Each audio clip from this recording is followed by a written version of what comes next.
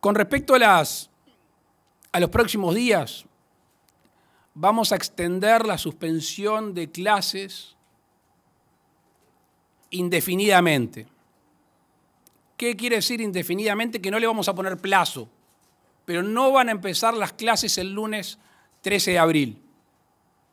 Seguramente sobre el miércoles que viene vamos a estar hablando con ustedes en un plan de que algunos alumnos con determinadas características en determinada región puedan eventualmente retomar su vida normal como estudiantes.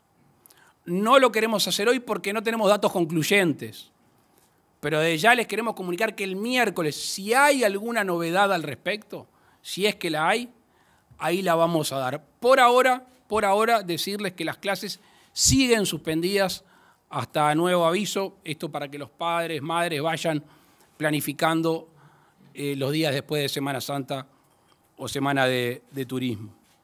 Ciertas, estamos manejando cinco escenarios.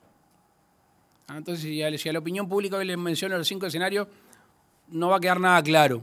Por eso quise al principio decirles, primero, no se reanudan las clases normalmente el lunes 13 de abril, primera definición, no es con plazo, por ende es indefinido. Tercero, a medida que vayamos definiendo si algunos grados, sectores, zonas geográficas y en, la y en una manera distinta pueden volver a clase, lo iremos informando. Hacemos una pausa en este sentido, en este, este tema puntual, hasta el miércoles.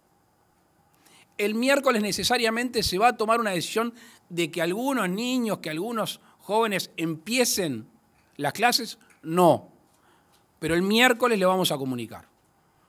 Hoy formalmente, si tienen que titular es, se aplaza el comienzo de las clases, no hay, discúlpeme que me metan su trabajo, no hay clases, no se vuelve a las clases a partir del lunes 13.